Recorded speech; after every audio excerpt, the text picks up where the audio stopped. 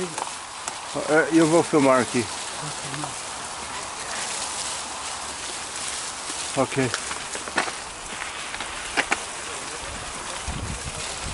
Tem bonito.